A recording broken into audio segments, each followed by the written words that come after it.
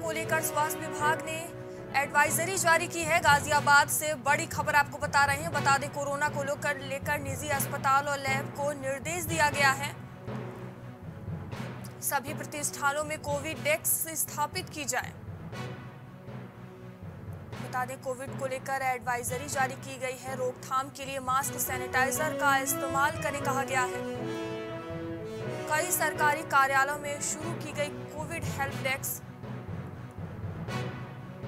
अस्पताल में दो गज की दूरी बनाकर रखने के निर्देश दिए गए हैं। कोरोना को लेकर स्वास्थ्य विभाग ने एडवाइजरी जारी की है। गाजियाबाद से खबर आपको बता रहे हैं। बता दें, कोरोना को लेकर निजी अस्पताल और लैब को निर्देश दिया गया है। जिसमें कहा गया है, सभी प्रतिष्ठानों में कोविड डेस्क स्थापित की जाए। साथ ही कहा गया रोकथाम के लिए मास्क सैनिटाइजर का इस्तेमाल करें। बता दें कई सरकारी कार्यालयों में शुरू की गई है कोविड हेल्प डेस्क। किए जा रहे हैं किस तरह के इंतज़ाम अस्पताल में किए गए हैं? जो कोरोना का नया वेरिएंट है ये सिम्टोमेटिक होता है न बुखार आता है न खांसी सीधे लंग्स पर अटैक करता है। इसलिए गाइडलाइन का पालन करते हुए सभी को मास्क निर्माण कर दिया गया है। कोविड नाइन्टीन का पालन किया जा रहा है। मरीजों को बताया दिया कि सामाजिक दूरी बना के रखें हाथ बार बार सैनिटाइज करें बिना मास्क उतार के किसी बात न करें। अस्पताल में जिस तरह की भीड़ एक साथ इकट्ठी लग जाती है तो इस तरह इसे रोकने के लिए क्या किया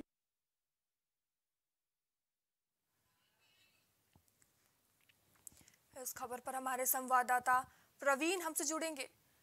प्रवीण कोविड को लेकर स्वास्थ्य विभाग एक्शन मोड में नज़र आ रहा है। एडवाइजरी जारी कर दी गई है। क्या कुछ एडवाइजरी जारी की गई है? देखिए मयूरी आपको बता दूँ, ये नए वेरिएंट ने जिस तरह से पूरे हर एक देश में जिस तरह से पैर पसार रहा है लगातार जो बाहर की बात की जाए अब्रोड कंट्री की बात की जाए तो वहाँ पर लगातार ओमिक्रॉन को लेकर लंबे लंबे जो केसेस है बड़े बड़े केसेस है, वो लगातार देखने को मिल रहे हैं। तो कहीं ना कहीं भारत में भी अब इसको लेकर खास तौर पे जो मीटिंग अभी मीटिंग का दौर चल रहा था जहाँ तक कि प्रदेश के मुख्यमंत्री योगी आदित्यनाथ ने भी एक इमरजेंसी मीटिंग बुलाई जिसमें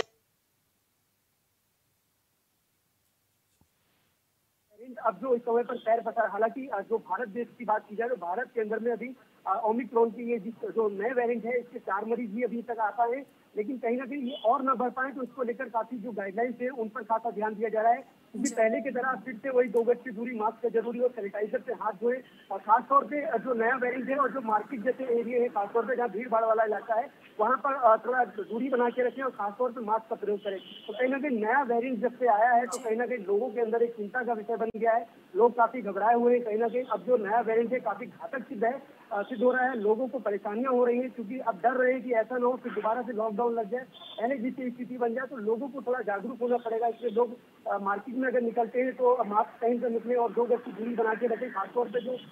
जो लोग, खासतौर बीमार है तो वो लोग घर से बाहर न निकले, अपना इलाज करें उपचार करें क्योंकि अब जो नया वेरियंट आया है इसके जो लक्षण है, वो लक्षण भी कुछ अलग तरीके से सर में दर्द होना, कंधे में दर्द होना, कमर में दर्द होना या गर्दन में दर्द होना, इस तरह से बुखार चढ़ जाना और आपकी जो पहले भी स्वाद नहीं पता चलता था खाने का, लेकिन इसमें स्वाद वगैरह सब पता चलता है, लेकिन कहीं ना कहीं नया वायरस जो है, काफ़ी घातक सिद्ध हो रहा है। और बात करें गाजियाबाद की तो गाजियाबाद के सीएमएस से जब हमारी बातचीत हुई तो सीएमएस ने साफ़ तौर पर बताया है कि सभी व्यवस्थाएँ अस्पताल में कर ली गई हैं, ऑक्सीजन को लेकर और जो वेंटिलेटर को लेकर इस तरह की सारी व्यवस्थाएँ कर ली गई हैं। गाजियाबाद में अगर मरीज़ आते हैं यहाँ पर तो कहीं ना कहीं उनकी व्यवस्थाएँ की जा रही हैं। अगर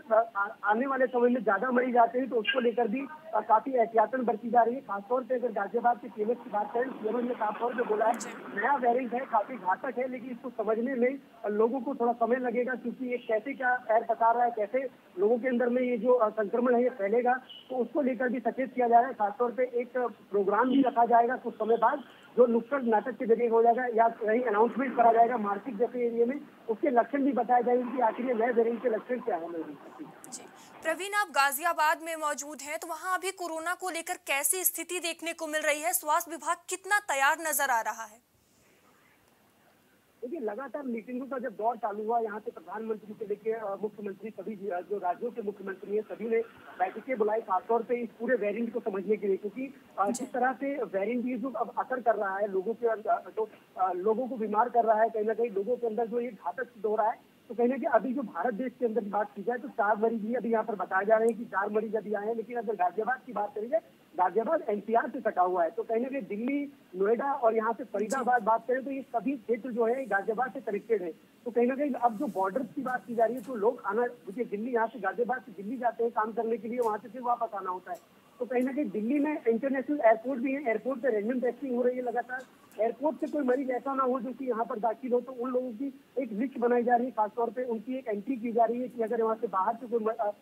कोई आया है यहाँ पर, चाहे कोई भी व्यक्ति हो बाहर से आया है, यात्रा करके तो उस पर खासा नज़र रखी जा रही है कि अगर उसके अंदर कोई ऐसे संक्रमण पाए जाते तत्काल उसके लिए उपचार किया जाएगा। उसके लिए अलग से व्यवस्थाएँ की गई है अस्पतालों में, खासतौर पर क्योंकि एक जिला अस्पताल जो होता है, सरकारी अस्पताल, वहाँ पर व्यवस्थाएँ जो होती हैं, काफ़ी चरमराई रहती है, क्योंकि लोग और भी अन्य लोग आते हैं, अन्य तरह की बीमारियों को लेकर आते हैं तो कहीं ना कहीं ये खाता एक चैलेंजिंग रहेगा डॉक्टरों के लिए और वहाँ के सीएमओ के लिए कि इस तरह के मरीज़ जो रूटीन से मरीज़ आते हैं, उनको भी देखना है, और साथ ही साथ अगर तो ये केसेस बढ़ते हैं, अगर इन केसों में बढ़ोतरी होती है या गाजियाबाद में कहीं भी पाए जाते हैं तो कहीं ना कहीं हड़कम हो जाएगा एक स्वास्थ्य विभाग के अंदर भी और उनको फिर ये जो वेरिएंट है, इसको समझने में काफ़ी समय लगा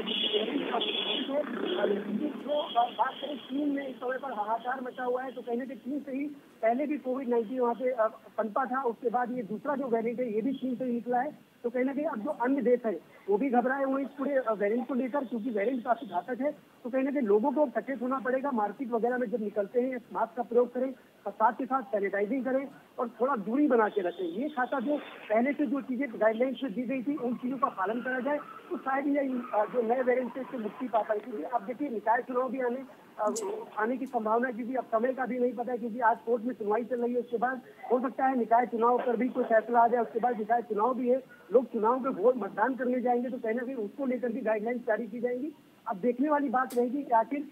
अपने यहाँ पर जो देश में भारत में ज़्यादा केसेज न बढ़े लोग सतर्कता बरतें और सभी नियमों का पालन करें। जी प्रवीण कोविड को लेकर तमाम निर्देश दिए गए हैं जिसमें सैनिटाइजर का उपयोग करना मास्क लगाना दो गज की दूरी बनाना। गाजियाबाद में लोग कितना जागरूक नज़र आ रहे हैं? देखिए गाजियाबाद की बात करी जाए कुछ ऐसे इलाके हैं जहाँ पर ज़्यादा भीड़ भाड़ होती है तो वहाँ पर लोगों को मैं देखा भी गया है कि वो लोग मास्क का प्रयोग करें क्योंकि लगातार टीवी में और लगातार सभी माध्यम से बताया जा रहा है फ़ोन के ज़रिए भी क्योंकि फ़ोन पे भी जो ट्रू कॉलर था पहले जिस तरह से बात किया करते थे वो बंद कर दी गई थी बीच में लेकिन अब फिर से वही ट्रू कॉलर चालू कर दी गई है जिस तरह से लोगों को जागरूक किया जाए लोग जागरूक हो और फिर दोबारा से वही जो नियम जो पहले बताए गए थे उन्हीं नियमों का पालन करें। क्योंकि खासतौर पर जो भीड़ भाड़ वाला इलाका होता है वहाँ पर थोड़ा लोग सतर्कता नहीं बरतते हैं क्योंकि वहाँ मार्केट में जाते हैं कोई कई ऐसी अन्य चीज़ होती है कि लोग एक दूसरे को छूते हैं फिर कोई अगर वस्तु है उसको उठाया, किसी दूसरे आदमी ने उसको उठाया, वो वहाँ रख दिया तो कहीं ना कहीं हाथ लगता है तो लगातार सैनिटाइजर का प्रयोग करें और दो गज की दूरी मास्क से ज़रूरी इस तरह का प्रयोग करें, तभी हो सकता है कि इस वेरिएंट से जो है बचा जा सके, क्योंकि किसी को कह नहीं सकते किसके अंदर में कौन सा संक्रमण है, क्योंकि अभी जो बाहर से जो यात्राएँ हैं, खासतौर पर जो इंटरनेशनल फ्लाइटें आ रही हैं, खासतौर पर उन पर खासा ध्यान दिया जा रहा है, उन लोगों को रैंडम टेस्टिंग हो रही है प्रॉपर तरीके से उनसे एक एक चीज़ का जाँच हो रही है, उसके बाद ही उनको अंदर एंट्री दी जा रही है, क्योंकि जो एक तरीके से लोग आ रहे थे, सैलानी आ रहे थे यहाँ पर, जो घूमने आया करते थे, उन पर भी खासा ध्यान रखा जा रहा है कि उन लोगों के अंदर कोई ऐसा कोई संक्रमण नहीं है, क्योंकि पहले भी ऐसे ही हुआ था, बाहर से जो फ़्लाइट आई थी उसके कारण ही जो कोविड नाइन्टीन था, उसका संक्रमण फैला था भारत के अंदर में। और उसने ऐसा विकराल रूप ले लिया था कि लॉकडाउन जैसी नौबत आ गई थी, लोगों को घर में कैद होना पड़ा था तो वो दोबारा से ऐसी चीज़ न आ पाई, क्योंकि एक बार तो निकल नहीं पा रहे हैं कोविड के जो बरतना पड़ेगा जी, धन्यवाद प्रवीण तमाम जानकारियों के लिए।